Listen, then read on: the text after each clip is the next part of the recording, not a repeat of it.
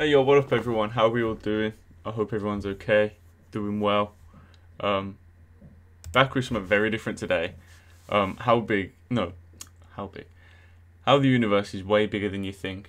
Um, I know it's a little off track. We like we're kind of used to doing history on the channel, but uh, I figured it's Friday. We can do something a little bit different, and then on Monday we'll pick it back up, go back to OverSimplified, or maybe have a look around, see what the comments are saying. But uh, yeah, man, I just thought it'd be a nice change to, and I- I've never seen this, so you know, why not? Eh? Um, but yeah, let's get straight into it and see what we got. This is a RealLifeLore video made possible by Squarespace. Make your next move with a beautiful website from Squarespace. This is Earth. You live here on this planet somewhere, and everything that you've ever known is located right here. But just how small exactly is Earth when compared to the scale of the entire universe? Let's start by zooming out to where we can see our nearest cosmic neighbor, the Moon. You may think that the Moon is very close to Earth since it dominates our night skies, but in reality, the Moon isn't this close to our planet, it's actually about this far away. 384,400 kilometers away from you right now on average. You could fit 30 entire Earths in between this distance, Shit. and if you somehow were able to drive a car at a constant 100 kilometers per hour speed, it would take you about 160 days to drive the entire That's crazy. You know, when you look at when you look at the moon from obviously where we are, you think, ah, there's no way you could fit another Earth in between there. You just, well, I'm probably not not smart enough to comprehend, you know, distance that big. Well, I don't think anyone is to be honest, but you know. distance. Despite this incredible distance, however, 12 humans have actually set foot here, representing the furthest away that any individual human has ever been away from the Earth, and one of humanity's greatest achievements. This is what the Earth would look like from there if you were standing there with them, and if you wanted to communicate with somebody back at home, it would take a message about two and a half seconds to travel between you and them, since that's how fast the speed of light can travel at. This is a photo that was taken on Right. Mars, Okay. and It took me a second to figure out what you were saying. Then I was like, "What do you mean? Send a message?" I get it. That tiny dot that you see there is Earth as seen from the Martian surface. On average, Mars is an incredible 225 million kilometers away from Earth, but that distance can be as high as 401 million kilometers. That means that whenever humanity finally gets around to landing a human on the planet, that person will be 986 times further away from Earth than the astronauts who landed on the moon were. In addition, the time delay for sending a message from Mars back to Earth isn't just two and a half seconds, it's actually more like 20 minutes each direction. Which would render Shit. instant communication in the event of an emergency impossible. When we zoom out even further away, we can find the Voyager 1 space probe, which is the furthest away man made object from Earth. It is currently located 138 AUs from the Earth. AU meaning astronomical unit, which is the distance between the Earth and the Sun. As you can probably tell, I have I've uh, this is not my area of, of knowledge at all, so I'm gonna seem really stupid in this, but uh, yeah, I'm, I'm probably stronger when it comes to history. So today's just gonna be a genuine me learning a lot. Which means that Voyager 1 is 138 times further away from us than the Sun is. At some Shit. point on its long voyage, Voyager 1 turned its camera around and took this photograph. It may not look like much at first, but in my opinion, this is the greatest single photograph ever taken in all of human history. This tiny, pale blue dot is Earth, and I don't think that anybody has ever said something as amazing about this as Carl Sagan when he said, If you look at it, you see a dot. That's here. That's home. That's us. On it, everyone you ever heard of, every human being who ever lived, lived out their lives. The aggregate of all our joys and sufferings. Thousands of confident religions, ideologies, and economic doctrines. Every hunter and every forager. Every hero and coward. Every creator and destroyer of civilizations. Every king and every peasant. Every young couple in love. Every hopeful child every mother and every father, every inventor and explorer, every teacher of morals, every corrupt politician, every superstar, every supreme leader, every saint and sinner in the history of our species lived there, on a mote of dust suspended in a sunbeam. It is crazy when you say it like that, isn't it? Like, kind of makes your problems feel small. You know, you look at the size of the universe and you think, here's me, fucking worrying about paying rent on my little property, which is a grain of sand in the grand scheme of things. It's uh, yeah, it is quite humbling, isn't it? Voyager 1 is currently traveling at 17 kilometers every single second, but even at that speed, it won't break out of the reach of our solar system for another 30,000 years. Shit. Once we go beyond the solar system, we arrive in our interstellar neighborhood. Here we shift to the light year unit of measurement, which is the distance that light travels in a full Earth year, or about 9.461 trillion kilometers. The star Proxima Centauri here is the closest other star to us other than our sun, but it's still 4.24 light years away from us. To put that into perspective, if it was heading in the right direction, it would still take Voyager 1 over 70,000 years to reach it. In other words, if you drove your Seventy thousand years. How long's how long's mankind been around?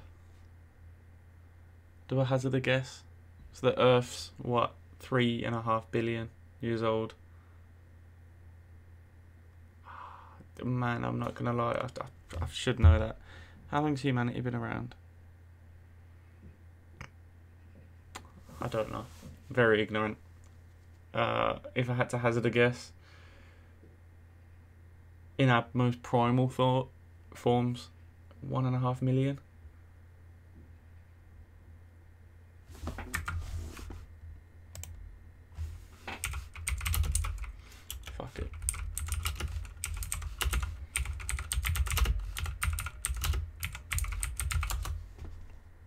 Six million years. Wasn't even close.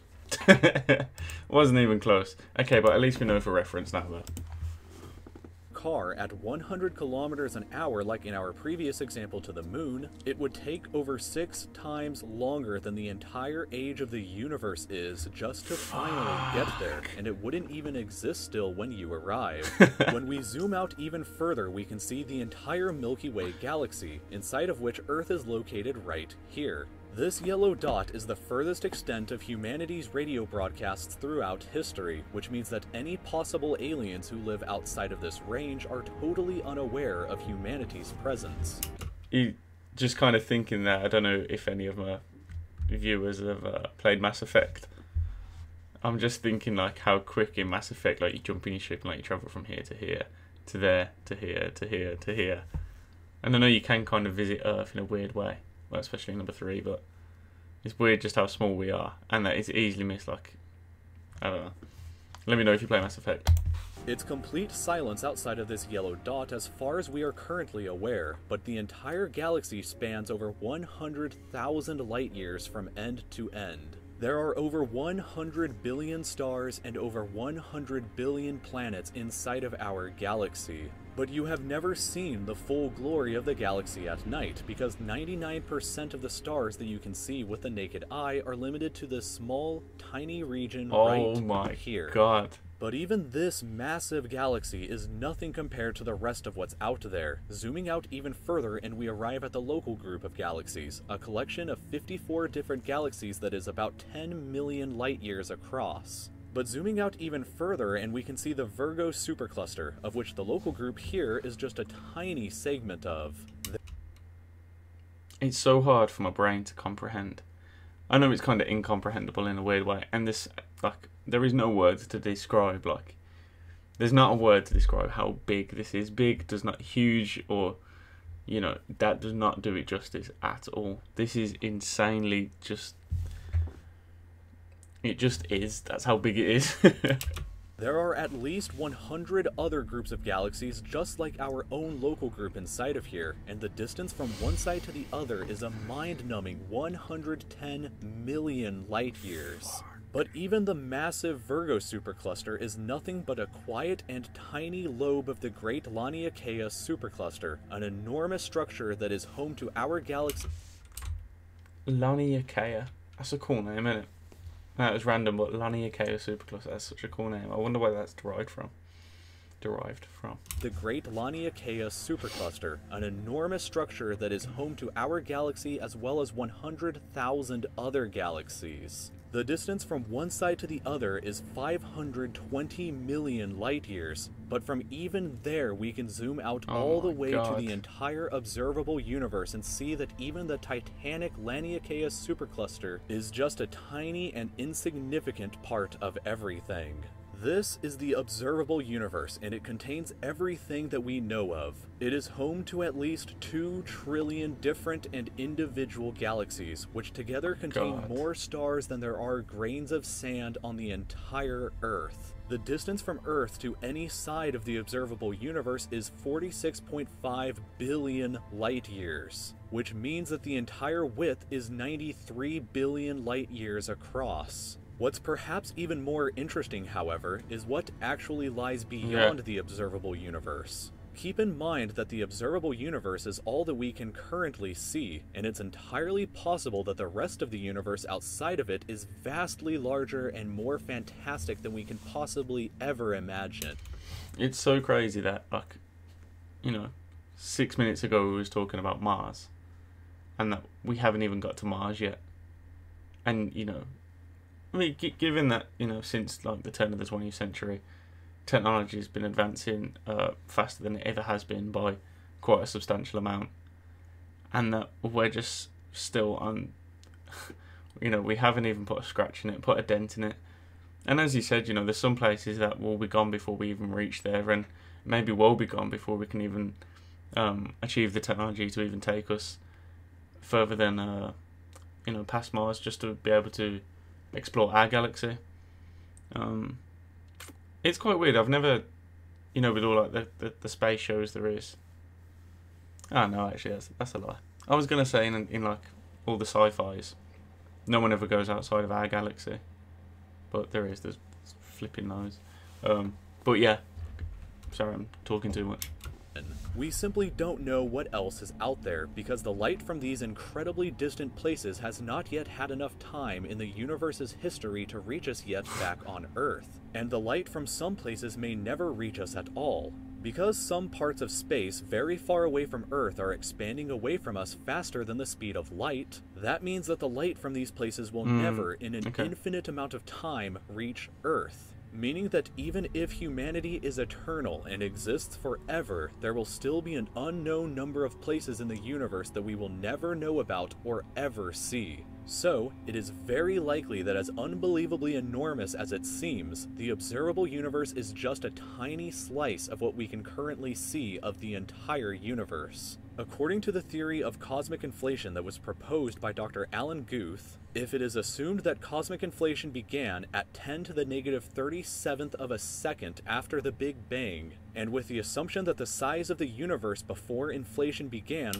Okay, so wait, just one more time to get my head around them numbers. that cosmic inflation began at 10 to the negative 37th of a second after the Big Bang, and with the assumption that the size of the universe before inflation began was equal to its age times the speed of light, Okay. then this Sorry, I, I don't just want to give a dead, boring reaction. I actually want to understand what he's saying. seventh of a second after the Big Bang, and with the assumption that the size of the universe before inflation began was equal to its age times the speed of light, Okay. then this would seem to suggest that at the present day, the entire universe is 150 sextillion times larger than the observable universe. Fuck. That number for reference looks like this, with this many zeros. Let this number sink in for Times just a as a- moment. This would be similar to you thinking that the entire observable universe, everything that you could see, was the size of a light bulb, but then realizing that in reality the entire universe is larger than the former planet of Pluto. Oh Imagine a light God. bulb in the center of Pluto, but we inside the light bulb were totally unaware that Pluto existed outside of it, and that's a similar situation to this. We are all so unbelievably small, but Yeah. you shouldn't worry because all that means is that there is so much left out there for us to discover together. This video was made possible. That is a phenomenal video. You know, it it, go, it goes without saying that I don't have the intelligence to comprehend the numbers, as I'm sure many people don't, to comprehend exactly how we got the numbers and the breakdown of the numbers. I can comprehend why he's put them numbers in front of us and, you know, what he's, you know, attempting to to say to us. I get that bit. That fully understand that. Um, obviously, I don't have the the scientific or the mathematical knowledge to to break that down for anyone. Of course, um, that is a phenomenal video. You know, it again. I know I said it earlier on in the video, but how humbling is that? Like you think about little old you in your little old house with your little old problems, and then you see it. It makes you think, man, does it even really matter? You know, I don't think you should become narcissistic. Um, what's the word I'm looking for? Nihilistic. But um, it, if anything, it should be a, a driving force. Say, you know, don't be scared of nothing, man. It, it doesn't really matter at the end of the day. You know what I'm trying to say? You should take it in a positive way, not a negative one. Um, you, know, makes you know what um I was thinking about during a small portion of the video. It's like if the galaxy's this big, well, if the observable universe is this big, then who's to say that Star Wars isn't real? who's to say that somewhere in that massive observable universe there isn't a Darth Vader? And I'll leave you with that. um, right, drop this video a like, man. Um, yeah, man, thanks for joining me. Let me know what you guys think if you want to do more of these sorts of videos. I also got recommended another one, and I think it was called How Deep is the Ocean? Or How the Ocean is Way Bigger Than You Think, probably. I'm not too sure. Um, But yeah, let, let me know what you want to see. We'll definitely go back to history, obviously. We're not moving off that. Um, I don't want to feel like an idiot every time I turn on the camera. Um, but yeah, man, like, comment, subscribe. All of that good stuff, man. It means the world. You know it does. Um, but yeah, man, peace out. And I'll see you guys Monday. Peace.